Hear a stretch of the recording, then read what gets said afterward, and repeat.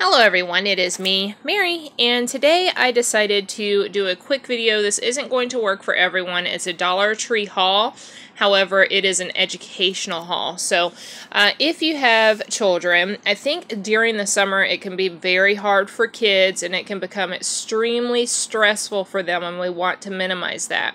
And the stress that I'm talking about is going into the school year and having this just a lot, a flush of information coming on and they've got so much schoolwork and they are not really accustomed to doing it throughout the summer. So I think that it's a great thing to each his own, but just to reduce the stress on our kids to have them working through the summer as well. Okay, my daughter's a homeschooler, so she does all year long. She homeschools Monday through Friday. My son is not a homeschooler, so what he does is he actually does schoolwork Monday through Friday, but not on a full time basis. So he'll do maybe two to three hours a day as opposed to six to seven hours a day. Okay, so let's look at some of the things that we found at the Dollar Tree. And you can find these at some of your bookstores. However, they're a lot more expensive. I got five different books, and these are great materials. The mathematics will last my child for about maybe three weeks or so, dependent upon his uh, study load, and the reading will only last him for about two weeks, but it's a really good deal. So let's go ahead and look at some of the differences of these books. So the first thing I want you to see are the Common Core books. Now he's going into fourth grade, and he's actually reading a lot of science on a college level. However, it's still important, even if they're at advanced level, to make sure that they're reading at their own grade level. Now with mathematics, what I would recommend is you want to push them. However, if they're new core concepts and you're not a teacher, uh, because all schools teach differently, you may want to keep them at the grade level they were already at instead of introducing a lot of new material. Because sometimes kids are graded based upon the formula, how they're doing the math, versus the answer being correct at times. We want the answer right, but the formula and how they found it.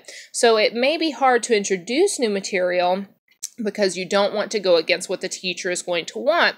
So sometimes it's good to keep them at their own level. And even if you have, say, a fourth going into fifth and all you can find is third grade, at least they're still keeping up on core mathematics like multiplication. So the Common Core books here, these are a little bit more. Now they do have some reading problems, but you're going to see a lot of problems like this. And I think repetitiveness in mathematics is very essential. So you're going to see a lot of problems problems that are more so just blunt to the point.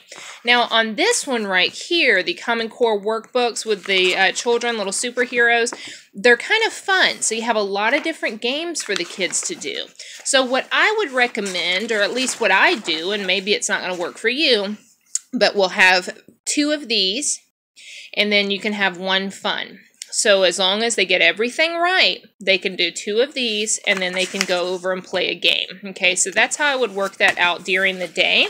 Um, but they do have these here all the way up. They have um, kindergarten, they have first grade, second grade, third grade, up to fifth grade, and they have language arts and some different um, programs. So this one includes a free album download, and here is the promo and it's going to be songs for kids so they can start to remember their multiplication by songs. So that's a lot of fun. So uh, this one right here, there's some mixed problems. So you do have some fun things here with the different charts. You have word problems. So it's going to mimic a little bit of the other Common Core, but there's still it's still a lot of great work to do.